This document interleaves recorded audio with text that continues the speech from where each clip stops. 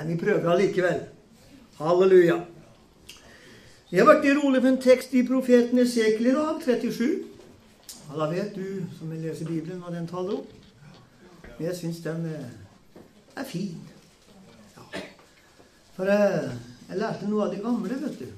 Ja. At uh, han skal bare dele det som vil leve for seg. Ja. Så får Den hellige ånd ta resten. Da står det der i profeten Esekiel 37, og vi skal lese i vers 1.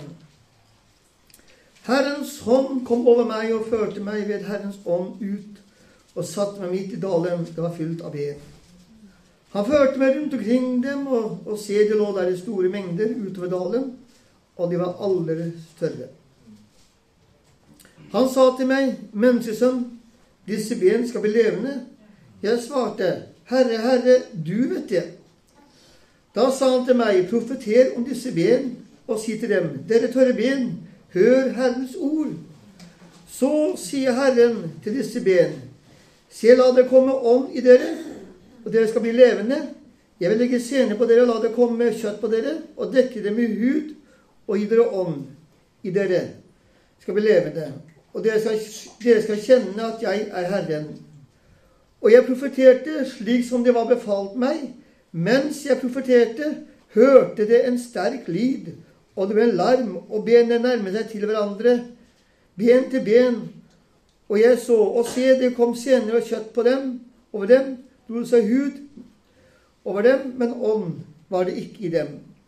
Da sa han til meg, profeter og tal til ånden. Profeter menneskeånd og si til ånd. Så sier Herren, Herren, kom du ånd fra fire vinder og blås disse drette menn så de kan bli levende.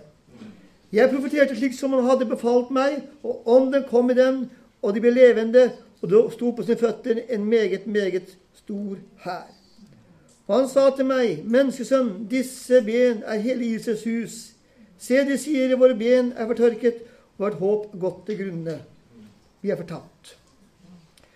Profeter derfor og si til dem, så sier Herren, Se, jeg åpner graver og la dere mitt folk stige opp av gravene, og jeg fører til Israels land. Ja, det er en underlig tekst, og hva har dette med pinsen å gjøre, kan du tenke?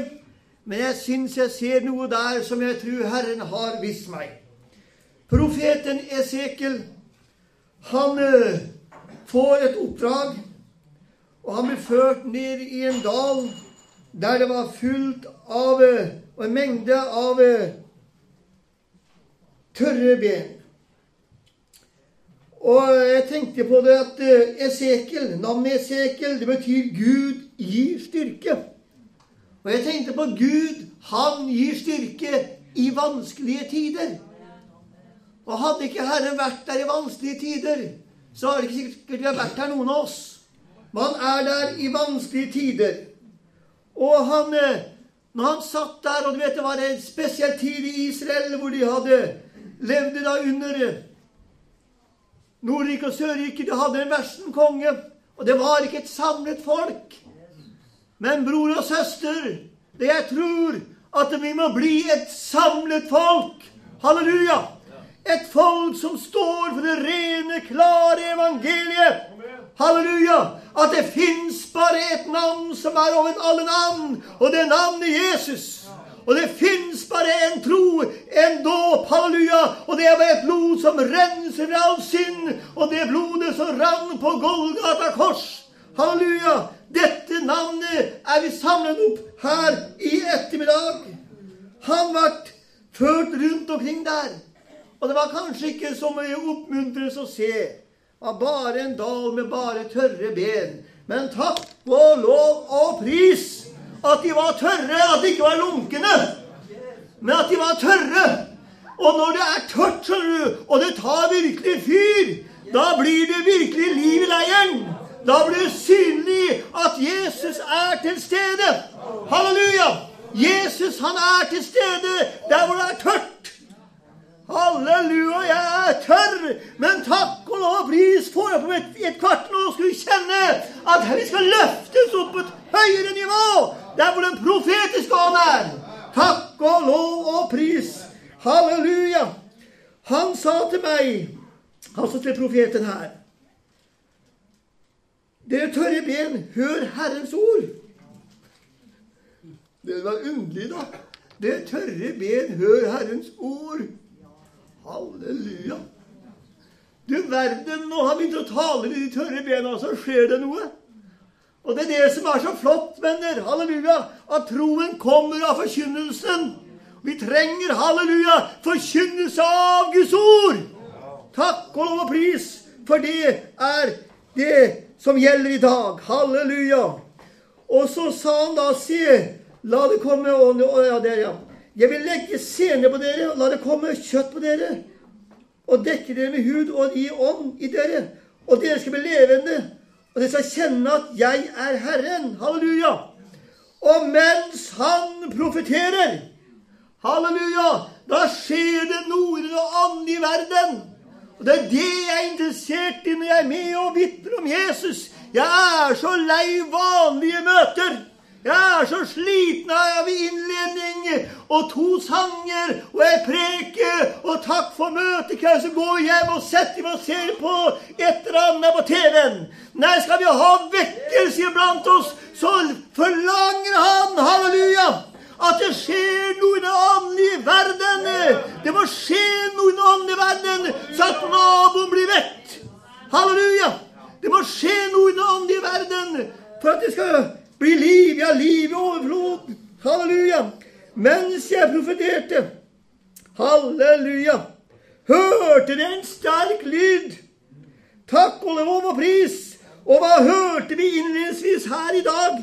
På pinsefestens dag var kommet, var det alle samlet på samme sted. Og hvorfor var det på samme sted? Jo, for de hadde holdt oppskriften. Det var det kanskje ikke så lett i de dagene og sitter der på øvre sal. Jeg hørte en som hadde bibelundervisning en gang om dette. Og Jeg var så uenig, så jeg gikk ut ja, så bare ha meg unnskyldt. De klarte ikke å høre på det. Nei, jeg orka ikke å høre på det. Han underviste om eh, cellegrupper, han. Nå har jeg ikke vært så mye i celle, men jeg har vært i ei celle. Og han sa det at det var da, vet du, sa han eh, De begynte med cellegrupper, sa han. Har jeg aldri hørt om med cellegruppe i Bibelen. Jeg har bare hørt om husmøter. Jeg, har bare hørt om bønnemøter i samla hus og bar. Han har aldri vært i ei celle, tenker jeg. For den som har vært i ei celle, den vil ikke dit igjen. Halleluja! Men takk og lov og pris at vi er ikke bundet til noe som helst måte. Vi er kun bundet til ordet. Takk og lov og pris. Og det ordet er midt iblant oss. Og da kom det en lyd fra himmelen. Halleluja! Vi hørte at han profeterte, og da skjedde det noe, i bulder og brak, sto den gamle 30-årsettelsen, og benene de nærmet seg til hverandre. Og de satt der på øvre sal i fortvilelse og sorg, for nå var Jesus borte. Og de ventet på at Den hellige ånd skulle falle med tyngde og begeistre blant dem. Og mens de var der og ba halleluja, så står det så fint at de hadde, var samlet med samme sinn, står det en gammel oversettelse. Med ett sinn. Hvor er du hen i ettermiddag? Har du kommet bare for å høre en gjeng fra Løten står og garder? Da har du kommet feil. Har du kommet for å høre at du synger om Jesus og vitner om Jesus? Da kan du gå annerledes ut enn du kom inn. Halleluja! Takk og lov og pris. Og plutselig så kommer et vær fra himmelen. Noen er så redd høye skrik. Noen er redd vet du, når folk blir døpt i ånden. Halleluja! Noen er redd vet du, bare du ler på deg. Men takk og lov og pris. Dette er ikke noe larm der Den hellige ånds kraft skal over dem. Og de fylte hele huset der de satt. Du vet at det, for noen år tilbake, for 20 år siden cirka, eller kanskje litt mer, så var det en periode hvor vi hadde veldig mye bibelundervisning om dette med nådegaver og tale i tunger og, og, og så tyde. Og Jeg vet ikke, jeg har ikke tall på så mange har døpt i ånden. Så hadde vi et husmøte en gang. Og jeg er sikker på det var en plass med 50-70 stykker der. 100 kanskje mer. Jeg husker ikke. Stappfullt stort hus. Og så eh, Alle som kom fram og ble døpt i ånden, var døpt i ånden uten én person. Og det var jo veldig Jeg husker som det var i dag. Jeg husker til og med en gutt som jeg hadde fasta med i fem dager. For han skulle bli døpt i ånden. Og han sa det sånn da han ba til Jesus. 'Jesus, sa han, nå har jeg fasta i fem dager, så nå har du lovt meg å bli døpt i ånden', sa han. Og har døpt i ånden med en gang. Ja, Det er sånn Gud gjør det. Men jeg husker at jeg kom hjem etter dette. Og jeg skulle normalt sett være veldig glad. Når vi opplevde folk ble døpt i ånden. Og jeg var glad. Så tenkte jeg men du må jo ha jo mer nådegave, Jesus, enn bare tale i tunger. Og tyde og tale profetisk. Det skal være i menigheten, det, og det er fint, det. Og mens jeg sitter og ber som et tre-fire-tida på morgenen, plutselig så forbarer Gud seg midt i hjemmet mitt. Halleluja. Og jeg glemmer det aldri. Det er, jeg husker det som det var i dag. Og jeg satt der og ba til Jesus i sofaen min. Plutselig fikk jeg se noe. Og for å være litt ikke for mye frimodig i ettermiddag, så sier jeg at jeg så det med hjertets opplyste øyne. da. Så jeg ikke går over streken. Men hvert fall fikk jeg se i hvert fall en, noe som lyste opp i huset mitt, i stua. Og så plutselig så får jeg se i ånden Abraham og Isak gå der. Så sier Jesus, hva har dette med nådegaver å gjøre? Og dette er nådegaven til å hjelpe det, sier Ånden. Nådegaven til å hjelpe. Så viser Den hellige ånd meg inn i Skriften. Han gikk av sted for å ofre sønnen sin. Han tok med to av sine drenger. Så sier han til drengene, 'Bli her med eselet. Jeg og guttene vil gå bort og bede, og så komme tilbake til eder.' Møter jeg to venner, de som var med Abraham på veien. De var med å oppmuntre han, at han skulle få være med på Guds løfter. Tvilte han ikke, men han besterket sin Gud i det han ga Gud æren. Halleluja! Og jeg har tro for Herren for store ting her i ettermiddagsmøtet. Mens de var der på øvre sal, så kom det tunge liksom ild, som delte seg og satte seg på enkelte av dem.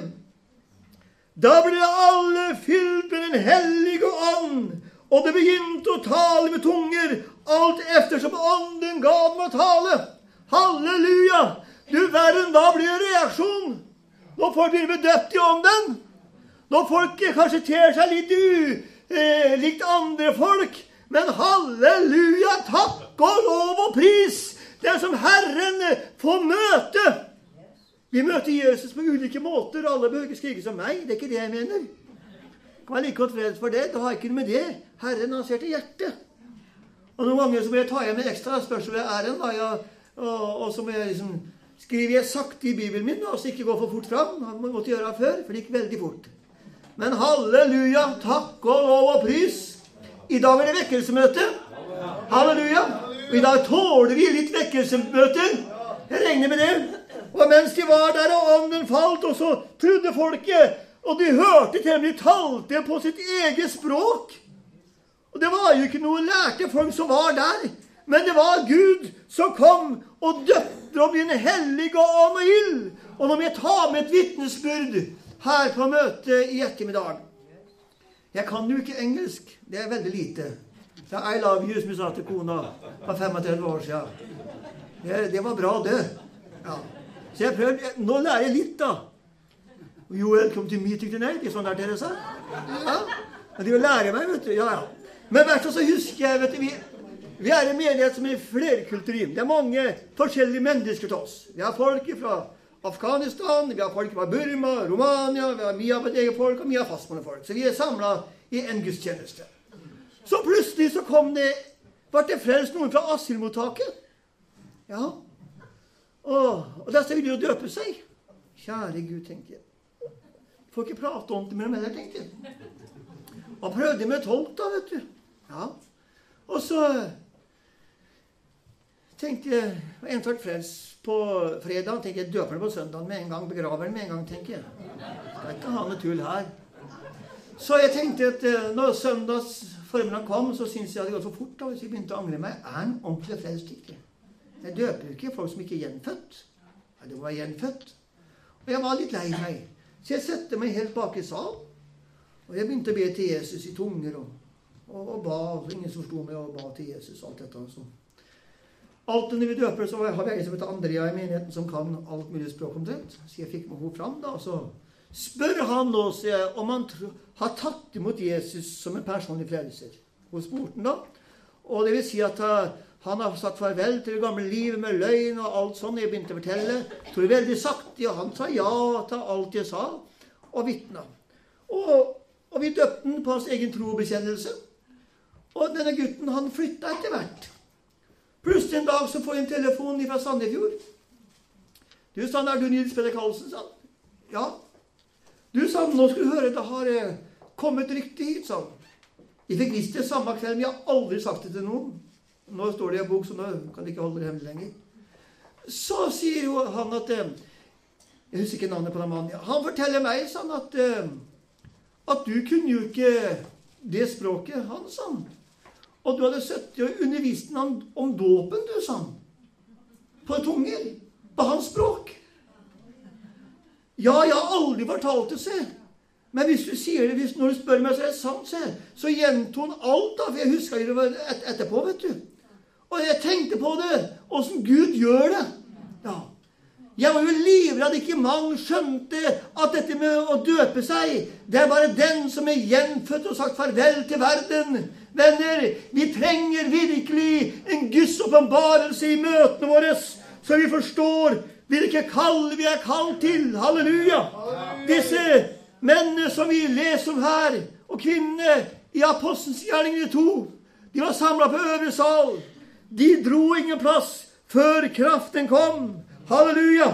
Og sånn er det av og til med meg og deg, at vi må få kraft idet Den hellige ånd kommer over dere. Og dere skal være mine vitner. Halleluja. Vi skal ikke være andres vitner. Vi skal være hans vitner. Halleluja. Åssen blir vi hans vitner, da? Det er vi levende gjort i Kristus Jesus. Takk og lov og pris. Og jeg tenkte på det her.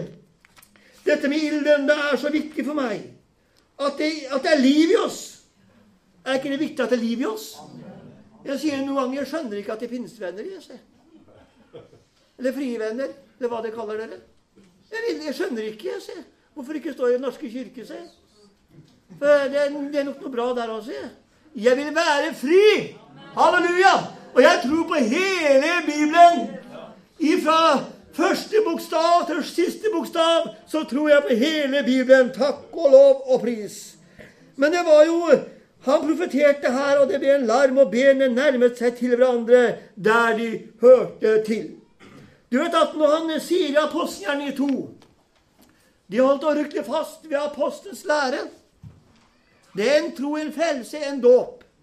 Så står det om samfunnet var viktig. Har, vet, vet, jeg har vært på møter i over 50 år. da. Jeg har sett litt av hvert. Nå kommer han, så nå setter jeg meg her, og han tenker annerledes. Og henne tenker annerledes. Åssen skal Det hellige ånd falle iblant oss da, hvis vi ikke har samfunn med hverandre og Den hellige ånd? Vi trenger virkelig, bror og søster, å forstå dette. De holdt rykkelig fast med dette som jeg taler om her i ettermiddag. Takk, lov og pris. Med apostlenes lære, ved samfunnet, med brødbrytelsen. Vi kan jo ikke ha brødbrytelse hvis vi har noe imot hverandre. Vi må forene oss med hverandre. Halleluja! I kraft av blodet så må vi begynne å tåle hverandre. Halleluja! Og når vi får lov til å dele brødet Halleluja! Da kommer bønnene automatisk der. Og det er når bønnene kommer, at det blir liv i leiren. Halleluja! Takk. Det er rart det ikke står bønnene først, da. Ja, og røkte fast med bønnene. Nei, det er apostelens lære at ånden skal falle, så må Jesus være synlig blant oss. Og så er det han som må styre denne skuta. Takk og lov og pris.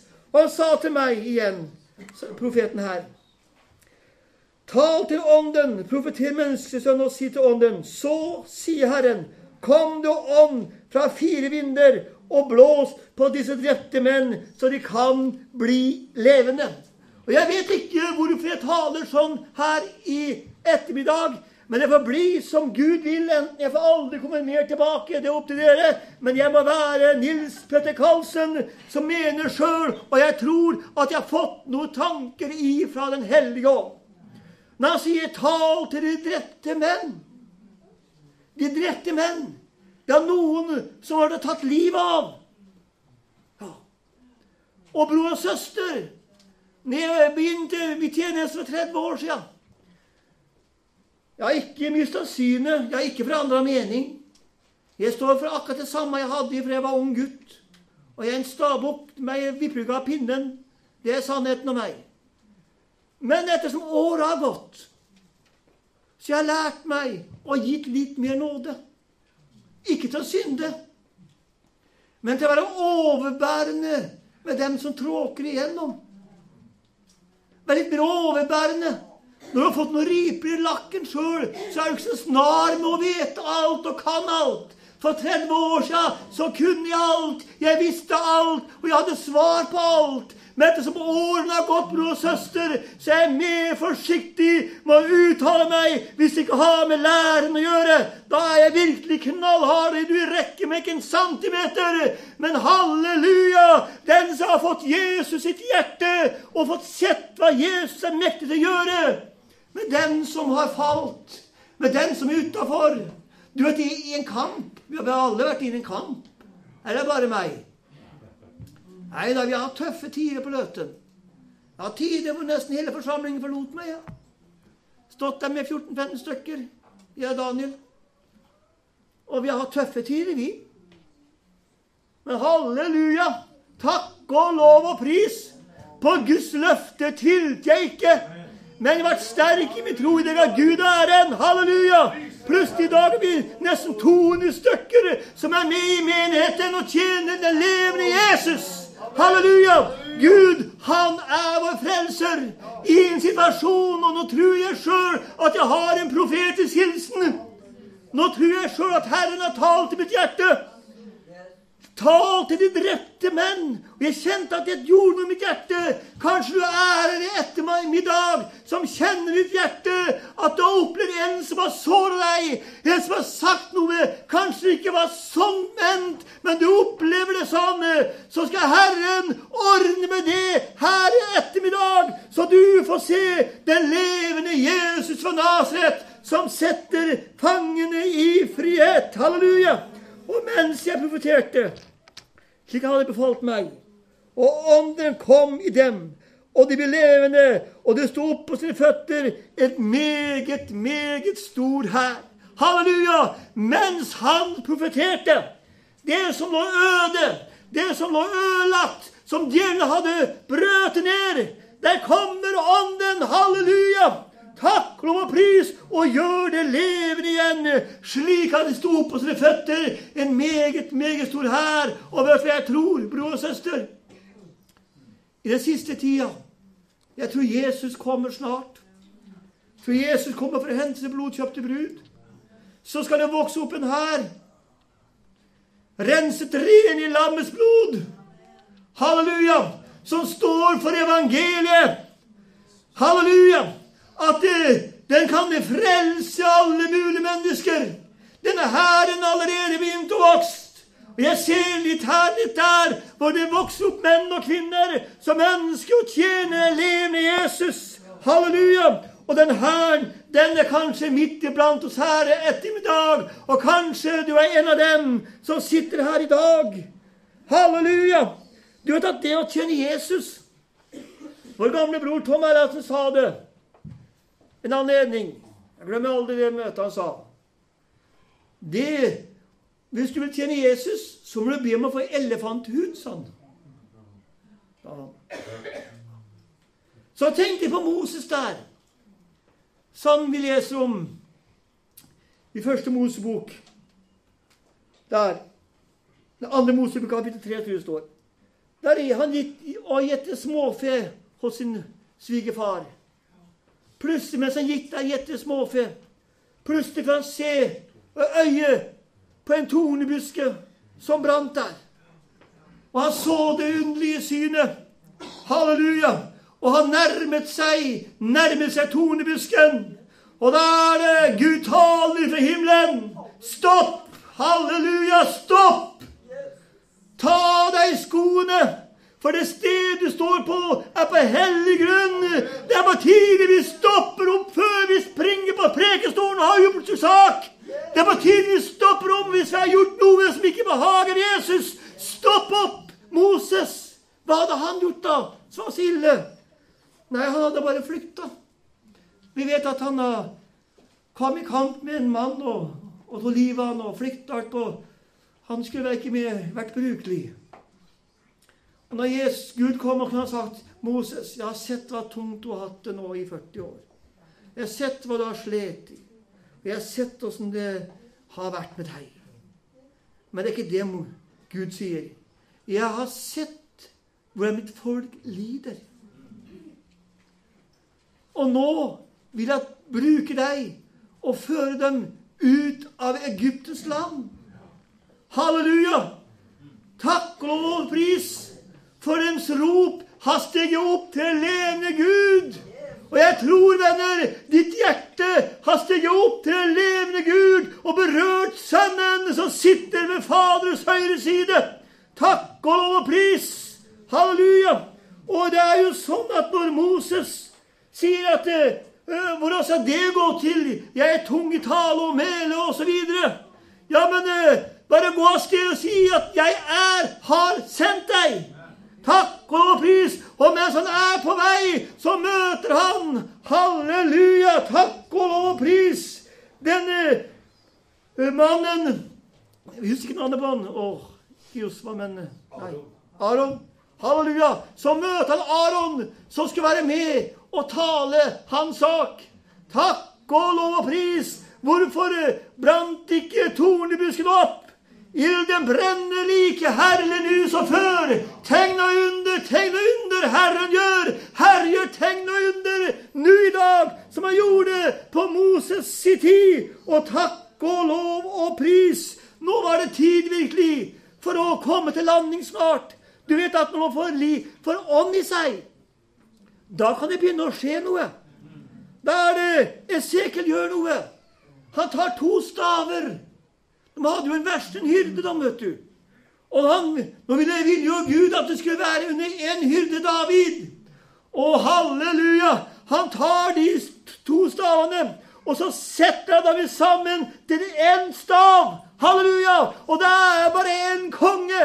Det er bare ett navn vi samler om her i ettermiddag, som skal ha æren for alle ting. Det er bare ett navn du kan bli frelst med. Det er bare ett navn du kan bli løst med, og det er navnet Jesus fra Naset. Og derfor sier Fesebrevet Drikk dere ikke drunken av vin. Jeg er motstander av alkohol. Drikking. Som frelst. Men halleluja! Bli fylt med Den hellige ande ild! La oss fylle opp karene her før vi går til ettermøtet nå og prise Jesus, så vi kan gi Jesus æren for alle ting. Mens jeg profeterte, da hørte jeg en lyd. Halleluja! Det ble et bulder og brak i den himmelske verden. Og det må bli et bulder og brak innvendig deg for å komme nært Jesus. Behøver ikke rope som meg, som jeg har sagt allerede, men det må bli et oppgjør i hjertet ditt. Du må bestemme sjøl åssen du vil ha det. Hvis du vil ha et møte med Jesus her i ettermiddag, så er Jesus mektig til stede. Halleluja! Ilden, den har mange egenskaper. Jeg skal slutte med det nå. Du vet at Jeg har ikke så mye greie på sveising, men jeg husker for mange år siden jeg var i Sverige. Så uh, kjørte jeg campingvogn, da, og så plutselig så var noen som gjorde lysa bak. da, Stoppa bil. Så hadde jeg hengefeste. Da hadde bare sånn bare død, nesten dødd av bil som bare hang og slang der. Da var det flaks at ikke campingvogna datt av. Og så vi måtte jo stoppe da, og, og løfte campingvogna og kjøre til en som kunne sveise, trodde jeg. Og han fant da en gårdbruker der som hadde sveiseapparat. Og, ja, dette kunne han, sånn. Og så han sveisa dette hengefestet. Og, og, og, det så bra ut. Og, og jeg kom meg hjem. Jeg bodde i Elverum da. Og kjørte på verkstedet med bil. og så sier han eh, Jeg solgte bil til Denne bilen sa han, eh, har jeg kunnet hatt problemer med hengefeste med. sa han. Hva har du det, sier Ja, sånn. For det er noe som heter kaldsveis, sånn. Og gjennomsveis, sånn. Og den som har sveisa hengefeste, den har vi kalt kaldsveis, det var bare utapå. Og det ble ikke noe som holdt i lengden. Halleluja! Og du forstår bildet i dag. Den hellige ånd den vil ikke ha en kaldsveis eller bare litt gåsehud. Han vil innerst inni hjerterota di. Og så vil han røre ved hjerterota di i dag. Halleluja! Slik at du kan oppleve som pinsefestens dag at de alle sammen blir fylt med Den hellige ånd. Og Peter sto frimodig og sa disse er ikke drikkene av søtvin. Det er jo bare den tredje time på dagen. Men det er det som profeten Joel har talt om. At i de siste dager skal jeg utgyve ånd over alt kjød. Halleluja! Ånden fikk oppleve å jobbe midt i forsamlingen der hvor de var. Og 3000 sjeler, halleluja, de ble frelst og døpt samme dag. Halleluja! Jeg lengter etter å se en sånn vekkelse blant oss. Halleluja! 3000 sjeler. Vi ber til folk med frelse nesten hver eneste uke hjemme, vi. Men jeg er langt ifra fornøyd, for vi ser folk frelst hver eneste møte. Halleluja! Vi har ikke tid til å sjalte og valte hva andre skal gjøre, men vi må bli fylt av Den hellige ånd og ild. Peter talte til dem. Og mens han talte, hva skal vi gjøre da? Omvend eder! Omvend eder! Halleluja! Jeg tror ikke det var noe fordømmende tale hadde jeg. Han forkynte om Jesus. Han forkynte hva han har gjort for han. Halleluja! Og da Jesus blir synlig blant oss, da kommer folk til tro, og så begynner de å leve rent og hellig innenfor Gud. Herren